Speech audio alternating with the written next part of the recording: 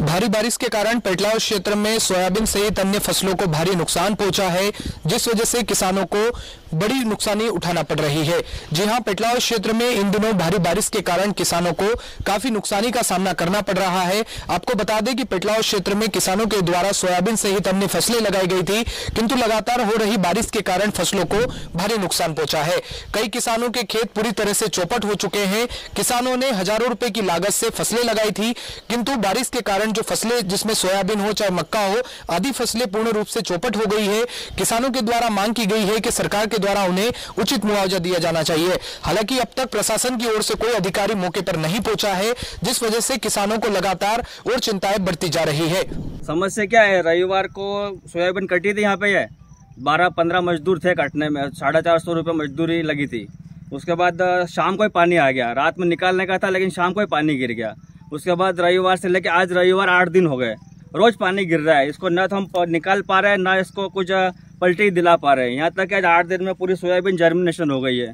तो अब तो कुछ नहीं है इसको तो जलाना ही है। एक रुपया भी यहाँ से निकलने वाला नहीं है। अच्छा कितने बीघा में आपने लगाई थी ये ये चार बीघे का है और दो बीघे का और खेत और एक और खेत दो खेत थे मेरे। अच्छा कितनी तो लागत लगी छह बीघे का करीब पूरी कट, कटी हुई सोयाबीन थी। आठ दस दिन हो गए पूरा आठ अच्छा कितनी लागत से आपने लगाया था इसको? लागत के यहाँ पे मैंने डेढ़ क्विंटल बीज लिया था। वो लगाया तो उसके बाद फिर दवाई और मजदूरी वगैरह करके ना करीब इसमें पंद्रह से बीस हज़ार रुपया खर्चा आ गया था। और अभी कटाई के अभी आ गए। कर पूरे खर्चा खर्चा में करीब पच्चीस हज़ार रुपया खर्चा हो गया होगा मेरा। अच्छा तो अभी ये पूरी तरह से नष्ट हो गई। पूरी खत्म हो गई है तो अब सूखेगी जलाना पड़ेगी ऐसा कोई दाना निकलना थोड़ी पूरा जर्मिनेशन हो गया सब अंकुरण आ गया ये वाला पूरा। ये सब अंकुरण हो गया पूरा। एक एक किलो दाना भी निकलेगा पूरे चार छह बीघे में ज़मीन में से।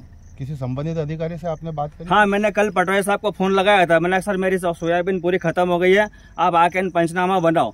तो बोला कि ठीक है मैं दिखवा देता हूँ कृषि अधिकारी से भी बात करता हूँ और आप मेरे को फ़ोटो भेज देना। तो मैंने फ़ोटो खींच के पटवारी को भेजा था लेकिन आज उसके बाद चौबीस घंटे हो गए। अभी तक मेरे खेत पे कोई अधिकारी नहीं आया देखने के लिए। सोयाबीन बोई वहाँ से मतलब पानी गिर गया और उसमें समस्या ये आ गई पूरी उग गई और पानी जैसे आया वैसे कट्टी नहीं है वो खड़ी खड़ी उग गई। में आएगा नहीं कैसे आएगा? वो तो उग गई है फली में उग गई। अच्छा सोयाबीन के अलावा और भी फ़सलें खराब हुई है क्या? भी है नहीं मेरी। तो मक्की भी उग गई भुट्टे नीचे गिर गया और पोगरे में उग गया।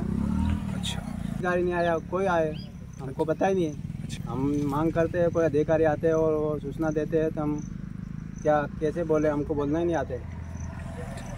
हुआ जी बारिश की वजह से हमने 25 बीघे सोयाबीन बो रखी और कुछ भी नहीं खड़ी खड़ी उग गई वो। अच्छा कहाँ पर है आपका खेत? बावड़ी पास में ही। अच्छा। कितनी लागत से आपने लगाया था वहाँ पर? उसमें साठ सत्तर हज़ार खर्चा हो गया बीज खाद बीज ट्रैक्टर वगैरह सब ओके अच्छा तो अभी जो फ़सल आपने लगाई थी वो काम में आने जैसी है पूरी तरह? बिल्कुल खड़े खड़े रोटावेटर चला है आराम से। कुछ भी नहीं निकलेगा उसमें से। क्षेत्र की तमाम खबरों के लिए बने रहे लगातार सीबी लाइव के साथ शान ठाकुर पेटलावत।